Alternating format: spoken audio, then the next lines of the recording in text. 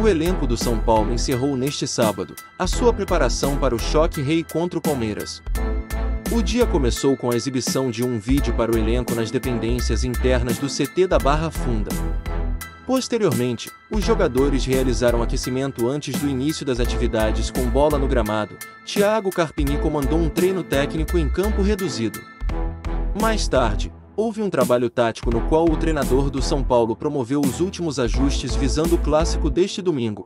O elenco tricolor ainda realizou um treino de bolas paradas ofensivas e defensivas. Fechando o sábado de trabalho na calorosa manhã deste sábado no CT da Barra Funda, na zona oeste da capital paulista.